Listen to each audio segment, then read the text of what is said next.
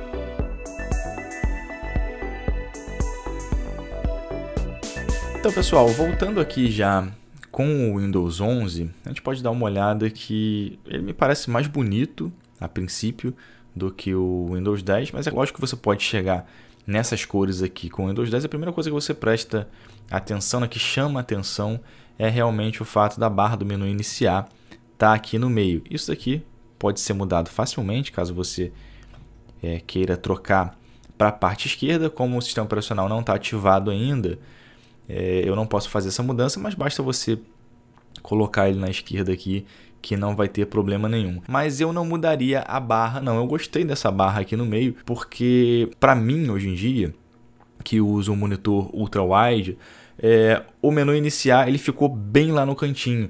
E eu não sei se vocês vêm percebendo, mas que com, ao longo dos anos a gente acabou passando a usar muito menos o menu iniciar do que era antigamente na época do Windows 95, do Windows 98 até o Windows XP.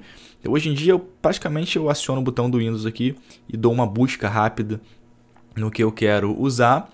E isso acabou tirando um pouco da, da funcionalidade do botão do Windows iniciar. E eu gostei muito dele aqui no meio. Ele ficou lembrando muito bem um, um tablet, na minha opinião. O sistema está lembrando muito a funcionalidade de um celular ou de um tablet. Por exemplo, eu instalei aqui o Twitter né? Os aplicativos vêm aqui, você clica aqui, ele instala, tem o Message aqui, que eu achei interessante. Tudo isso a gente já tem na, na Windows Store, mas eu acho que ficou mais legal aqui. Então você clica aqui, ele já abre na lateral da sua tela, né? Então ele pode separar, por exemplo, o navegador aqui. Isso vai, vai ser uma facilidade a mais. A minha, a minha câmera está ali na frente, mas vai ser uma facilidade a mais para quem usa monitores ultra-wide. O Excel, por exemplo, eu uso muito aqui, né? como eu, eu vejo as minhas, os meus investimentos.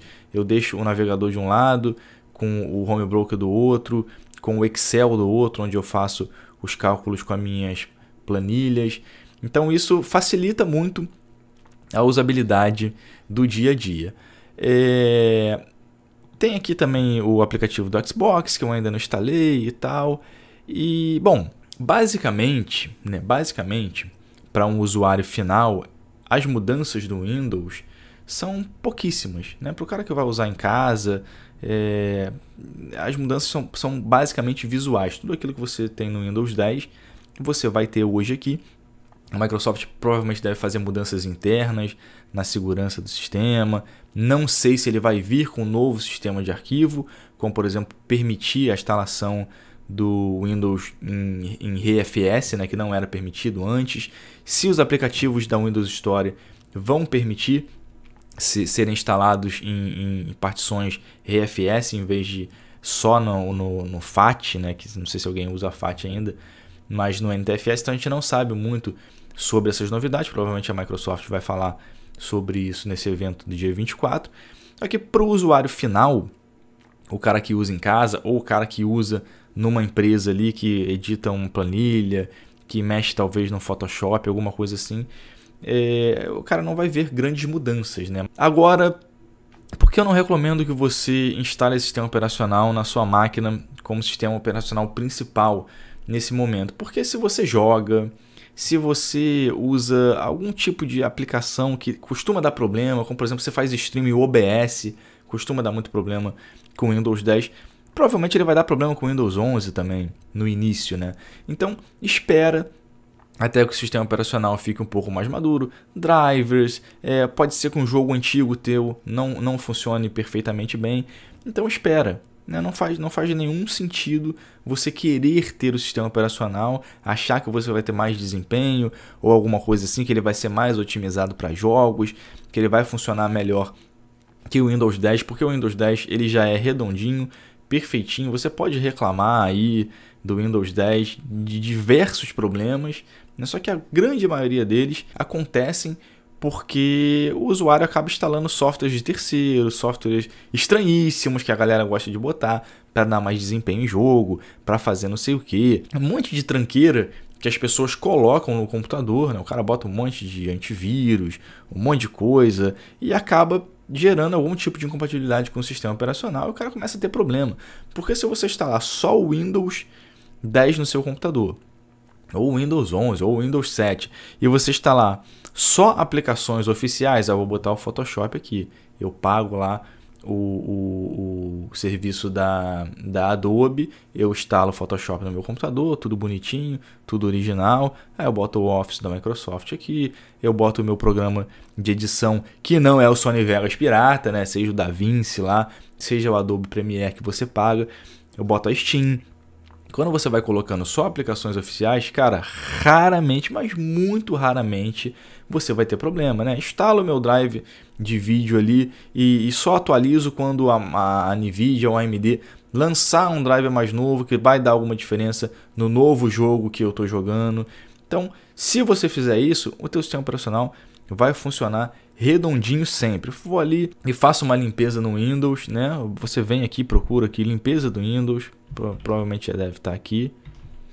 Aqui, o Disk Cleanup. Você vem aqui e usa isso aqui para limpar o seu disco. Você usa o desfragmentador que já trabalha sozinho com o Windows 10. Você não precisa instalar CCleaner, C não sei o que lá, limpador, otimizador do desempenho, otimizador de memória RAM.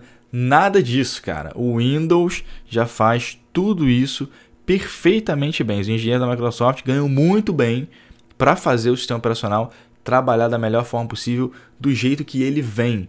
Então, no início da instalação, ele te mostra algumas coisas ali que você pode desligar se você quiser, como é, telemetria, algumas coisas assim, embora ele esteja sempre captando ali é, erros ou, ou, a forma do usuário trabalhar com o sistema operacional para poder melhorar a experiência. Tem algumas coisas ali que você pode desligar. Então você configura o sistema operacional como você acha que é melhor para você e simplesmente usa. O sistema operacional ele é simplesmente para facilitar a tua vida e controlar o hardware do computador. Né? É, é, é o sistema operacional que vai fazer ali a interação entre o hardware e o que está sendo mostrado para você na tela, e isso precisa ser feito da forma mais transparente e agradável possível. Por isso que a Microsoft está tá trazendo, está dando essa repaginada no sistema operacional. Ele deve trazer é, melhoras na integração com a Azure, com o OneDrive. Né? Eu vi aqui que tem a opção já de você salvar as coisas diretamente no OneDrive. Vamos ver aqui quanto é que ficou a instalação do sistema, já que só tem o sistema operacional instalado aqui. Os ícones mudaram pela primeira vez aqui em muito tempo. Né? Acho que né, já há muito tempo né, que não muda os ícones aqui no Windows Explorer, que é uma das ferramentas mais incríveis da Microsoft. Né? Você não pegou a época do XT Gold, que se usava no DOS como sistema de, de um programa de árvore, né? de, de pastas e tal. E então ele gasta aqui 19 GB de espaço no seu disco, é muito pouco, né? Você pode aí usar um, um SSD de 128, um SSD de 256 GB, que eu acho que é o recomendável hoje em dia para você ter o sistema operacional. Instala alguns programas que você vai usar aqui. O meu SSD é de 512 GB. Você não precisa ter um super SSD rápido igual o do PlayStation e tal, para não sei o que. Isso aí, cara, ainda mais agora, né, que ainda está muito caro, a gente está vendo que é tudo lero lero. Então coloca aí um SSD, seja SATA, um SSD mais simples NVMe, instala, tenha 16 GB ali no seu computador, um processador decente, né, pelo menos aí um Ryzen de primeira geração para cima, de 6 núcleos e, e, e 12 threads, ou desses mais novos, como 3300, 3300X, com 4 núcleos, 8 threads, mais um processador de alto desempenho, que você vai ter o teu computador funcionando ali, tinindo para você trabalhar tranquilamente. E se você quiser jogar, uma placa de vídeo melhor do que, do que essas tranqueiras que a gente vê as pessoas recomendando aí. Não adianta você comprar placa de vídeo tranqueira, velha da China e, e ficar instalando né, Windows, Windows LTSB, LGBT, instalando um monte de besteira no teu computador para você achar que você vai ter mais desempenho quando não tem, cara. O Windows já trabalha perfeitamente bem. Windows 10, né? Se você, ah, não uso o 7 porque é melhor, Windows 10. E agora a gente vai esperar o Windows 11, a Microsoft vai soltar a atualização oficial e o que dá diferença no seu computador, nos seus jogos, é o hardware que você tem e você manter o sistema operacional o mais limpo possível. Então, pessoal, a gente fica no aguardo de mais informações por parte da Microsoft em relação ao novo Windows 11, quando é que vai sair a atualização, a versão oficial para que todas as pessoas possam atualizar lá via o Windows Update. Fica na guarda de novas informações sobre a parte de games do sistema operacional, se vai ter alguma coisa nova do DirectX. A Microsoft trouxe muita coisa do DirectX no ano passado, né, para a nova geração do Xbox e também para o PC, Nvidia e AMD. A gente vai acompanhar o evento aqui. Provavelmente eu vou transmitir esse evento do Windows aqui no canal no dia 24 e vamos torcer para que seja mais um bom sistema operacional na Microsoft, porque não tem nenhum motivo para que não seja e não tem nenhum motivo para que você, usuário final, não atualize para o sistema operacional novo assim que ele estiver disponível na sua versão final. É isso aí. Eu vou ficando por aqui. Se inscreve no canal se você não é inscrito, dá uma olhada nos nossos patrocinadores nos links na descrição. Provavelmente a GVG Mall vai vender chave também do Windows 11. Me segue lá no Twitch, arroba loucobaltar. Se você for comprar um console de nova geração, alguma coisa, um notebook para você utilizar o seu novo Windows 11 Pro. Links na descrição. Se você comprar nos links, você vai estar ajudando o canal. É nóis, tamo junto, um grande abraço e até a próxima. Fui!